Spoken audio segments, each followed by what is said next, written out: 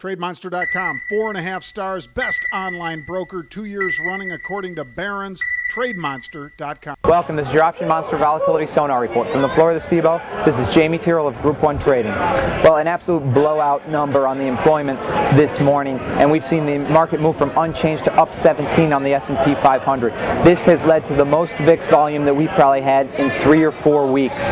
A lot of paper re-examining the VIX as the front month future continues to plummet and the VIX cash moves below 17. If you look at the spread between February and July futures right now, it's almost $8. So the market is really pricing in that this VIX lull we're seeing right now is a short-term lull. It could go lower in the next week, next couple weeks, but the market is still pricing in the July future at about $26.5, implying that they believe the long-term average for the VIX is much, much higher and will revert to a mean significantly higher than 17. Now, when that happens and if that happens remains to be seen.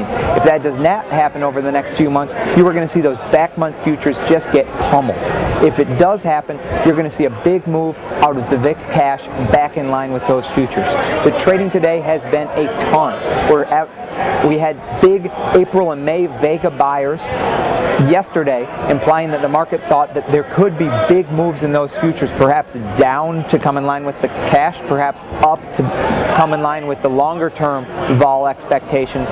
But there was a buyer of the 27 21 May April strangle yesterday. Today it's the May 26 April 20 strangle. The customer paid $4.45, which was a huge increase in Vega in both of those months. In the front month, we've had about a dollar move downwards on the future, and we're starting to see sellers. The April 18 straddle is trading for about $2.05, implying that the market isn't pricing in a ton of move over the next seven trading days in February. Another trade we saw was the February 20 quarter call spread. Customer coming in, selling that for 40 cents, and the 2030 selling that for 52 and a half cents.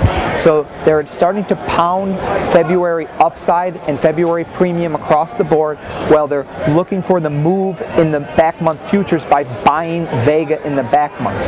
Very interesting trading going on right now. A lot of trading. Jamie Tyrrell with Group 1 Option Monster.